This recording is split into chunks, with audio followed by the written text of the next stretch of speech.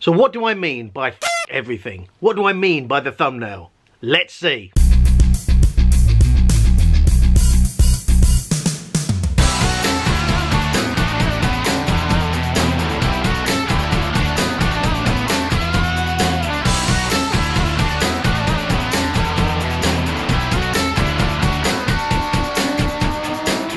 Right, here we go! Go, go, go, go, go! Energy, right. So, what do I mean by fuck everything? The whole point of it is not supposed to be negative. It's supposed to be, one, a bit eye-catching, but also, ultimately, we are so kind of caught up with opinions and what other people think and sort of, you know, is this right for me or is this good enough and all that kind of rubbish. So what basically I'm saying is, essentially is everything.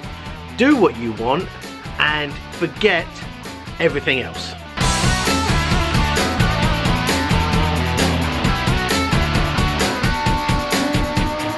Now that sounds maybe a bit harsh, so let me kind of back into that a little bit and explain a bit more. So when I say everything, I don't mean, you know, it's like not at the expense, not being horrible, not being so not that sort of thing. But when you've got something that you're focused on, something you love to do, something you're passionate about, something you love, you put your heart and soul into something because you love doing it and it's something that brings you pleasure, not for the um, the views or the likes or just the adoration of others. You do it because you love doing it. Full stop. That's the true, real reason for doing something. You know, don't do something for the money because ultimately it's, it's just going to give you an empty feeling. Often we do, the, do this thing that we love and we get that kind of either external people saying, mm, you know, that's not good, or, or, you know, the haters, all that sort of stuff. But even if you're not the sort of, I'll say, level where you're getting haters, or whether it's on Facebook or YouTube, LinkedIn, wherever, biggest kind of hater and the biggest critic is in here. So often we'll do something, and I've, I've, you know, we all do this. I'm sure you can relate. You do something, or you're doing something, and you've got that little voice going, "Yeah, no, that's that's either not good enough, or eh, that's you know, what are people going to think? You know, people are going to think you're mad or stupid or ridiculous."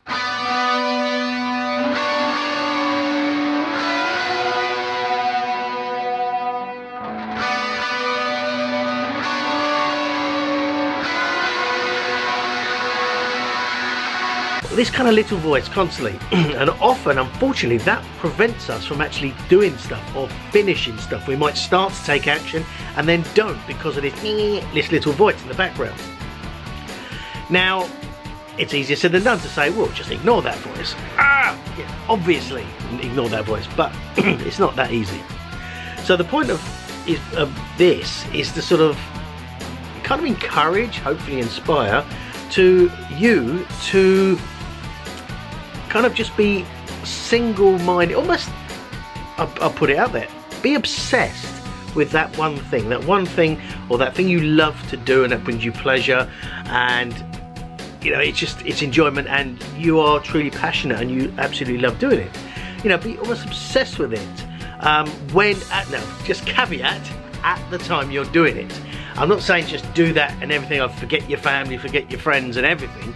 No, what I'm saying is in the time that, that, you're doing it, and that might be one hour a day, might be 10 hours a day, it doesn't really matter. But in the time you dedicate to that, be all in, be 100% in, and just be obsessed by doing that thing. Now, it could be building a business, it could be um, so, um, some sort of art, it could be um, it could be, you know, it doesn't have to be anything kind of external. It could be sort of playing with the kids, could, whatever it is, but be all in. Now, I'm hands up as always. I'm hugely guilty for not kind of maybe concentrating with the kids and being all in, but it's something that I'm working on. But if it's something that's in like that's you do be all in and if it's something sort of creative or a business something like that be obsessed with it and that means not listen to any external factors, as in, uh, you know, other people, comments, things like that, saying, no, you can't do it, yes, you can do whatever.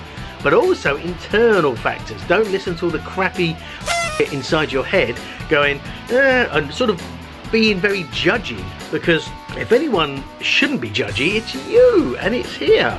And it's, I've said it before, my friend Brian Penali said, you know, the hardest journey is that 18 inches between your head and your heart.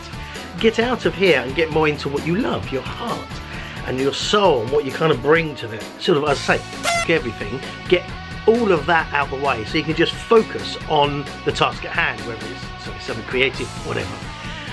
And then the more you do that, the more often you're doing that, you're actually going to get a better strength to kind of push that sort of crap out the way and be more immune to it.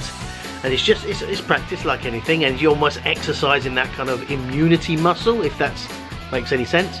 But you're kind of pushing this stuff away and building up that strength that, you know, when you do get to a level where you get haters, it's nothing. You just, you know, it just doesn't matter because you've built up this, you're, you're not listening to yourself, your worst critic, and you're just going with it.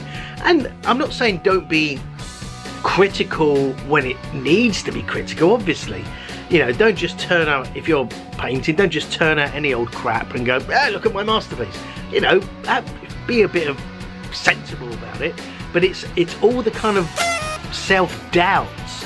It's not putting something out and, and be, be objectively critical. Go, okay, it's not my best work because I didn't do the, know, the sky right or from a video point of view, you know, it's not my best work. I didn't edit it as good as I could have done, and the levels and the you know the color grading, stuff like that. That's kind of fine. But then look at it objectively and go, well, I'm not gonna not put this out uh, because it's not perfect, but I'll learn from that for next time I can then make it perfect.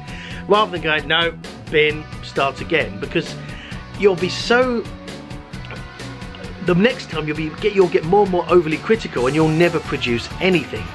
And as uh, Casey Neistat says, don't let perfection get in the way of good enough. Get stuff out and then tweak it, tweak it, tweak it. Um, version 1 is better than version 0, etc, etc. 1 is better than nothing. All these quotes basically mean the same. But don't take that stuff to heart. It learn from it. It's a learning thing. And it's, so it's not sort of like the voices in your head. Have them look at things objectively, going, okay, this is not as good as I perhaps would like it to be. Um, but, you know, I'll learn next time I do something rather than constantly not do something. You know, put something out, there may be criticism, but that criticism will, will help as feedback, as information, as data to tweak things and try it next time. So it's like I'm jumped from art to say prospecting on the phone. If you're ringing up a number of people and saying a certain phrase or a certain script and they re react in a certain way negatively, that's information that you're going to know. Why. Okay, that certain script, though that um, sort of selection of words in that doesn't work. Doesn't really sort of build empathy between me and the prospect. So next, you know, next time I'll tweak them and try something else. That's better than going, I'm not too sure if this is gonna, oh, no, I don't think I'm, I might make the call because I don't think this is gonna, you don't know. Until you make the call, you won't know if it works. Until you create something and put it out, yes, I know you, as, as I said, this is where it's contradictory.